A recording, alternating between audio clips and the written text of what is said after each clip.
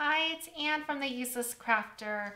So I got so much love for a piece that I just did recently on Instagram. And so I'm going to do something very similar to for you. Um, and it has to do with Cricut's new feature, the offset. So um, let's download this. This is from Creative Fabrica. I love this dream catcher. It's just so delicate and so pretty. Um, when you see these thin lines though, I I ended up doing this piece uh, with HTV, so heat transfer vinyl. It can handle the more intricate cuts and then I did the last two layers in cardstock. So I'm gonna show you how to do it though. This looks so darn cute. Okay, so download.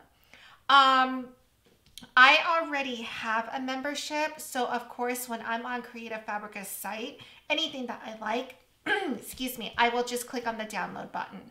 If you only have an account but you don't have a membership, then of course you need to check out and pay.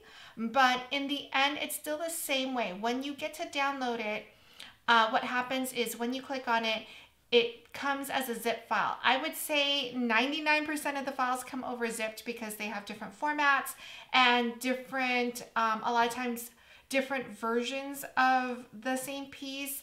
Um, so anyway, what you want to do is you're going to go up here and I always do show in folder because I want to look to find the file that I'm going to use. So here's my, oh, I downloaded it twice, but Love My Tribe. So I'm going to double click on it. And I'm going to click on this one, Love My Tribe, because I don't have a Mac. And here you go. So you have your different options. Here's a JPEG, PNG file. The one that I want is this one. So I'm going to move this one over and I'm going to drop it into my desktop. So the file is called Love My Tribe, right? So now let's go into Design Space. Oops, I already have it open. Give me just one second. All right, here we go. Uh, let's do a new project.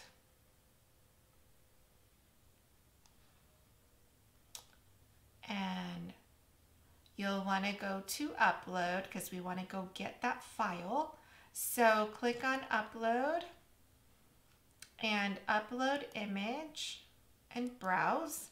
Now, once we're in browse, you want to go to your desktop and go find your file. And I think it was called my something. I, I know my head is I can only hold so much in there. I've lost it. Okay, give me a second. Let me see. It's oh, Love My Tribe. Okay. So, Love My Tribe. So I'm going to double click on it. And, you know, for me, even though the thing is called Love My Tribe, if I ever want to find this again, there's no way I'm going to know. so I'm going to change my image to Dreamcatcher because I think that I would remember that better. Okay, then I'm going to click on upload. So this is a cut image. It's coming over as cut. Select it and insert your image. Now, I'm going to do, I'm not going to do my daughter's name because it's too long, but what I want to do is I actually want to take out the word tribe and I want to put something else in here. Maybe I'll put my name just because it's so short and I can show you how to do that. And then we're going to do a couple offsets. So first thing is I don't need love my. So in your right hand side panel, you can just delete that. So I'm going to click on this and click delete, click on love and delete. So now I have this. I'm going to make it a little bit bigger and if you notice right now, I don't have a background, right? It's plain white. All you need to do is click on the three bars in the left-hand side, go to settings, and I want a full grid. I do the no grid because sometimes I want to import the picture over and I'm using it for um, like a thumbnail or a story on Instagram. And so that's that's helpful. Maybe if you're doing um, like a proof to your customer, you might want to have a plain white background. So that's how you would change it. Okay, so here's the word tribe, right? What I, so I want this little, um, I don't know what to call it, like a little flourish, right? So I want to cut off right around here and right around here. And I'm to take, I'm to slice out the word tribe and I'm to insert my name. So let's go to text real quick. Now this is also from Creative Fabrica, so give me a second. I'm to show you where it is. Oops, no, here we go. Um, this is my one of my favorite fonts. The reason why I love it so much is because it has all the little flourishes. It looks very whimsical and delicate, but it isn't. it's actually very low maintenance and so easy to use. It cuts beautifully. So you can see like even when you're looking right around here, it's not thin, right? Or you we've seen thinner, let's say. So this works out great. All right, so now that you know where to get this, let's go back into Design Space. And I'm gonna use that font. So I'm gonna go over here and search for Hannah Berry. And there it is. So I'm gonna click on that. And then I'm gonna type my name. And it didn't come in for some reason. Let's do that again. Okay, there we go. No, let's make it big. One of the tricks to doing this is you want to get, this side is not a big deal because it will just attach to the letter A, right? But this side, we're kind of angling it into this a little bit. So, well, actually, yeah, so we want to make this thicker so it kind of matches that, right? I mean, we could do something like this. Okay, so let's ungroup this, move this over so that it actually fits, right? Okay, now let's grab these two.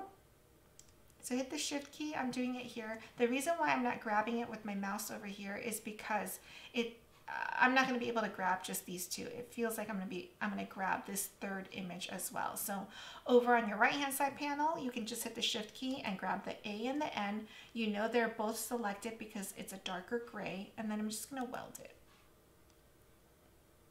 Okay, so now that we have this, and this now is one image, it's one line item, right? We'll move it over. Let's do this. Let's slice this out. So when you're slicing, you, you can only slice two things at one time. So it's going to be a shape in this case with the dream catcher. So now this is a little tricky because the T kind of goes across over here. Don't worry about the fact that we're not, this is not part of within the rectangle or square. So unlock it. We're going to pull this out and we want to do something like this, right? We want it to end here and end here. So now let's grab these two items and slice. As long as you're slicing the majority of this, which we, the word tribe is basically almost all covered in here, except for this little swoosh of the T, right? So it's easy to fix that. All right, so here we go. We can just delete that. And delete this and this. So what we have left is this, right? We want to get rid of this. This is super easy. Just go to contour, select that little swoosh so that we can remove it. And I'll come up in a second. Hopefully. All right. So just select it and see how it's kind of grayed out now. When you exit out of this, it will be gone. The contour tool is so awesome. I love it. Okay, so now let's do this.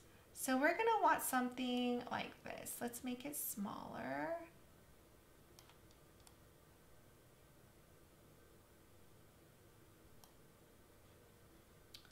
We can make this a little bit smaller so we can attach it. Um, so it's not fully touching right now. So we can either, I mean, there's a couple things you can do. We can grab this and make it a little bit bigger so it touches, right? All right, so now that it's in there, we're gonna grab everything and weld it. When you weld it, now it looks like it's one whole image. It doesn't look like we messed with it, at least not in my eyes. Um, and then now, I when I did this big sign, I cheated a little bit and I used 24, uh, a 12 by 24 inch cardstock. So this is from Joann's. It's glitter cardstock. I was putting it up in the room and I just didn't want any seams. Um, I think I could have made certain colors work, but I really wanted to do white and gold and I just felt like I couldn't really make it seamless. So that's why I went with that option. So just know that, I mean, sometimes it's just easier to go with the bigger paper and pay a little bit more for it. But you know, it works so well for your project. And this is going up, it's a room decor piece, and so I really wanted it that big.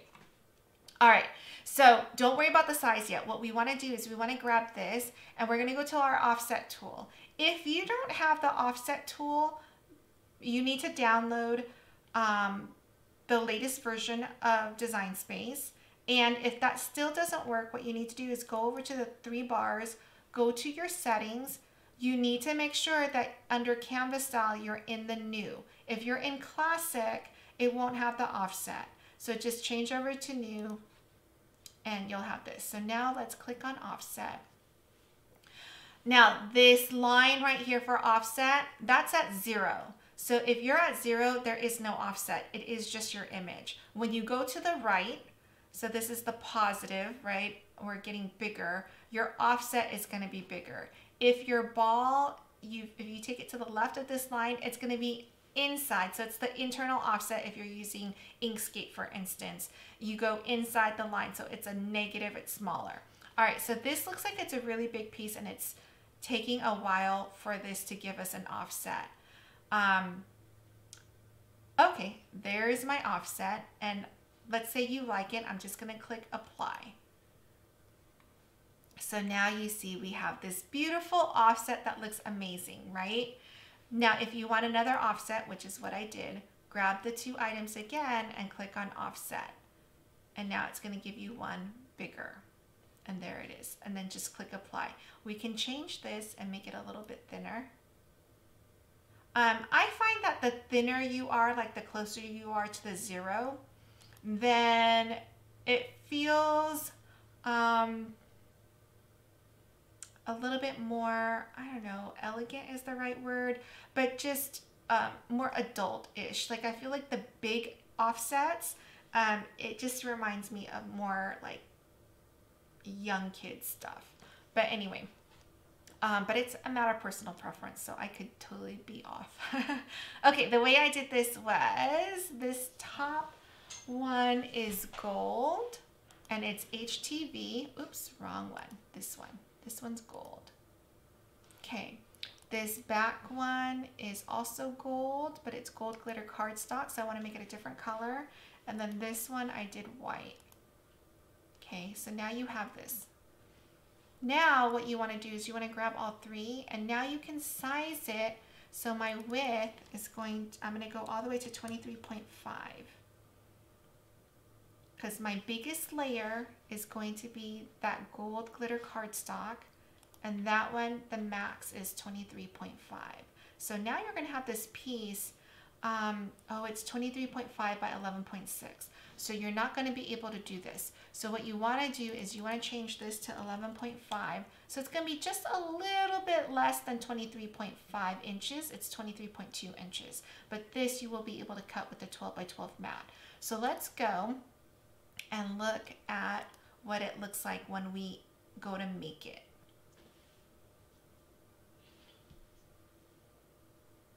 Okay, just click OK because it's saying you need a 12 by 24 mat, so not a big deal.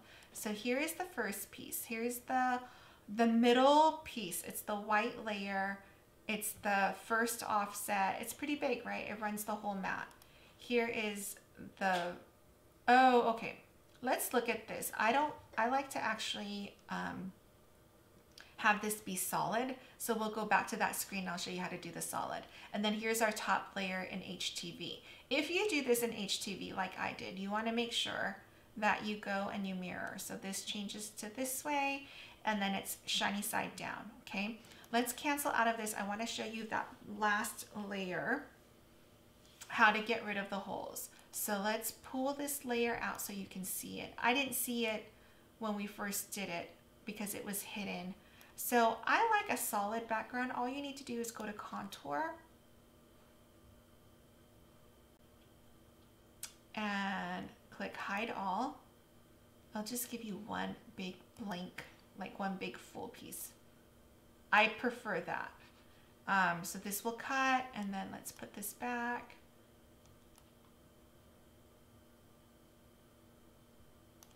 And then you're done, right? So it's so easy to merge things and do an offset these days because before I had to do everything in Inkscape and it was a little bit difficult.